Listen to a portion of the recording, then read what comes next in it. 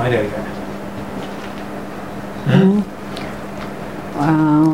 அன்னைக்கு இந்த கம்ப்யூட்டர் கொடுத்தோமே. அது இன்னும் கெட்டு போச்சு அப்படின்னு.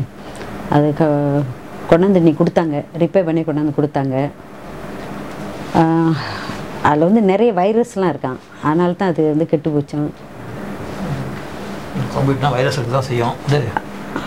ஆனால் என்னன்னா அந்த போன் சைட்டில் இருந்து தான் அந்த வைரஸ் வந்திருக்கு அப்படின்னு சொன்னாங்க. அது காட்டினாங்க. அது எனக்கு சந்தேகமாக இருக்குது நம்ம பிள்ளைங்க தான் பார்த்துருப்பாங்க அப்படின்னு. என்ன செய்கிறது என்ன செய்யறதுன்னா அப்படிதான் இருக்கும். இந்த இந்த வயசு பசங்க அப்படிதான் இருப்பானுங்க. அதெல்லாம் தவிர்க்க முடியாது. அதெல்லாம் சகஜம்தான். இப்போ பார்ப்போம். என்ன சகஜன்றீங்க? அப்போ நீங்களும் பார்த்துருக்கீங்களா?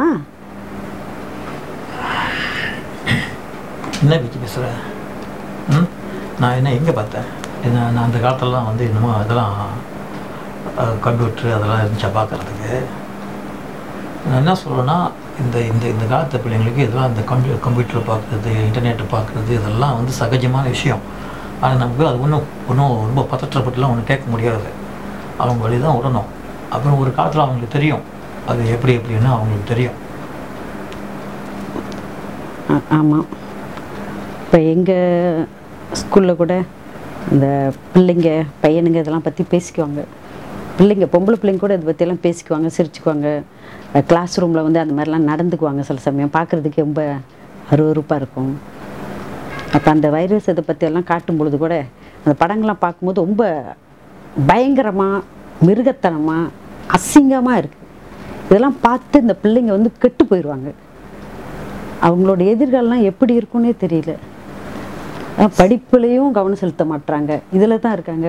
இப்போ நம்ம எனக்கு என்ன பயமாக இருக்குது நம்ம பிள்ளைங்க இந்த மாதிரி ஆயிடுவாங்களோ? எப்படி திருத்துறது அப்படின்னு சரி சரி விடு விடு நான் தான் சொல்கிறோம் தானே. இதெல்லாம் இந்த காலத்தில் வந்து சகஜமான விஷயம்தான். இதெல்லாம் இதெல்லாம் நம்ம பார்த்து ரொம்ப ரொம்ப ரொம்ப அழட்டிக்க கூடாது. அவனுங்க அவனுங்களுக்கு தெரியும் போது அவனுக்கு தெரிஞ்சு அவனுங்க சரியாக வந்துடுவானுங்க சரி நம்ம தான் சொல்லி கொடுக்கணும் அதெல்லாம். ஆமாம் சொல்லி கொடுக்கணும். ஆனால் சொல்லி கொடுக்குற வயசில் அவனுங்க இல்லை. அதனால் பெரிய பசங்க ஆகிட்டானுங்க நம்ம ஆனால் படிப்படியாக தான் சொல்லணும். ஒன்று ஒன்று தான் சொல்லணும்.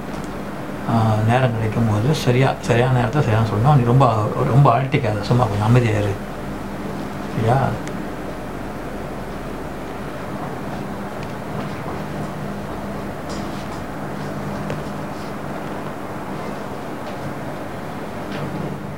எனக்கு என்னமோ தெரியல இப்போ அது தலைவலிக்கு நான் போய் ப்ரெஷர் பார்த்து செக் பண்ணிவிட்டு நான் வரேன்.